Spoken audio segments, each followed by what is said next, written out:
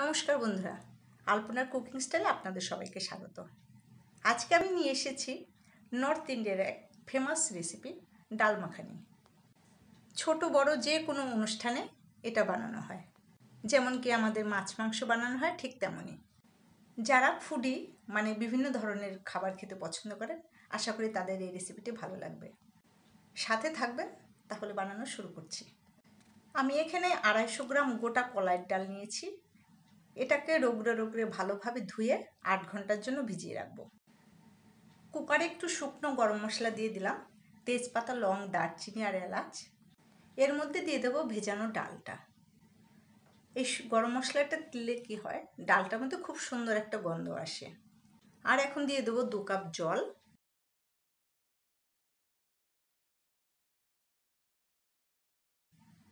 আর এক স্পুন লবণ। এটা দিয়ে কুকারটাকে বন্ধ করে আমি মিডিয়াম ফ্লেমে চারটে সিটি লাগিয়ে নেব। কড়াই গরম বসিয়েছি। এখন দিয়ে দেবো এক চামচ তেল। আর দিয়ে দিচ্ছি এখন বাটার। এখানে আমি ষাট গ্রাম বাটার নিয়েছি। তেলটা এই কারণেই দিলাম, যাতে কড়াইটা বেশি গরম হয়ে গেলে বাটারটা অনেক সময় জ্বলে যাওয়ার চান্স থাকে। বাটারটা একটু গলে যাওয়া পর্যন্ত ওয়েট করছি।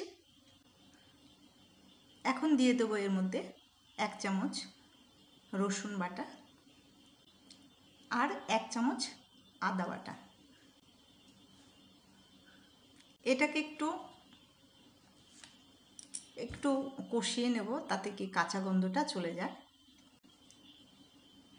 এখন এর মধ্যে দিয়ে দেব টমেটো পিউরি।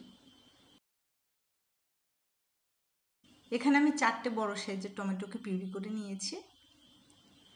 এটা দিয়ে ভালোভাবে নেড়ে চেড়ে মিশিয়ে নেব। আর এখন দিয়ে দেব এক চামচ লবণ আর দু চামচ কাশ্মীরি লাল মির্চ। কাশ্মীরের লাল লঙ্কা গুঁড়ো, এতে কি কালারটা খুব সুন্দর হয়। এই সব মশলা দিয়ে কষাতে থাকব যতক্ষণ না বাটারটা মানে তেলটা মশলার উপর ভেসে আসে। দেখুন তেলটা কেমন মশলার উপর ভেসে উঠেছে। এখন আমি এর মধ্যে সিটি লাগানো ডালটা ঢেলে দেব।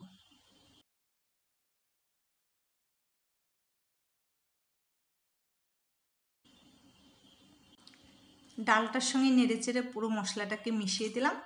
এখন গ্যাসটাকে আমি একটু হাই করে দেব। কারণ যখন মশলা কষিয়েছিলাম, গ্যাসটা কিন্তু লো ছিল। এই ডালটাকে আমি চার পাঁচ মিনিট এখন বয়েল হতে দেব। পাঁচ মিনিট ফুটে নেওয়ার পর ডালটা একটু ঘন হয়ে গেছে। এখন এর মধ্যে দিয়ে দেবো দুই কাপ জল।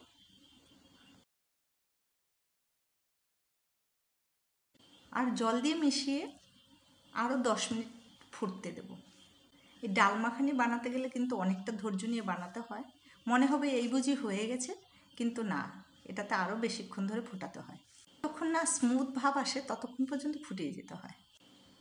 এখন আরও একটু লবণ দিয়ে দিলাম, কারণ কি জল মিশিয়েছি তো, তাই ব্যালেন্স করার জন্য একটু লবণ দিলাম। আর দেবো এক চামচ জিরে ভাজা গুঁড়ো আর এক চামচ গরম মশলা গুঁড়ো। এই গরম মশলাটা যেটা বাজারে কিনতে পাওয়া যায়, এটা মিশিয়ে নিয়ে আরও পাঁচ মিনিট ফুটতে দেবো। এই সময় কিন্তু ঘন ঘন নেড়ে যেতে হবে, যাতে কি নিচের দিকে না লাগে।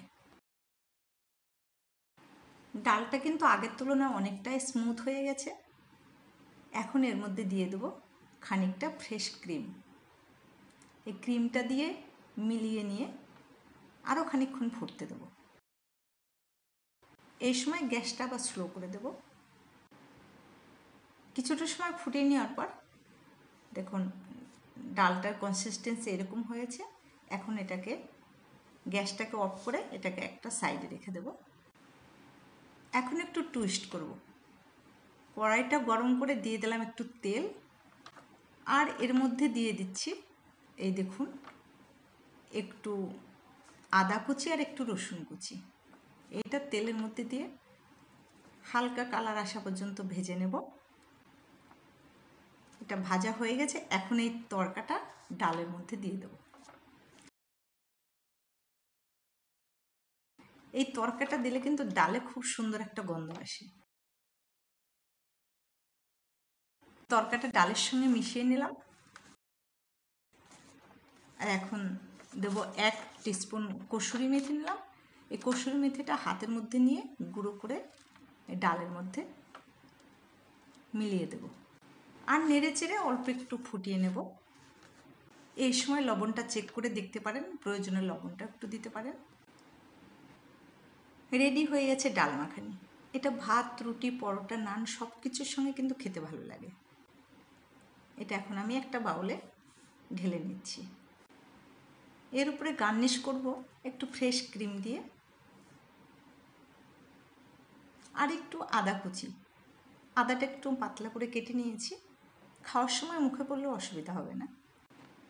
যারা বিভিন্ন রাজ্যের বিভিন্ন ধরনের খাবার খেতে পছন্দ করেন, আশা করি তাদের এই রেসিপিটা ভালো লাগবে।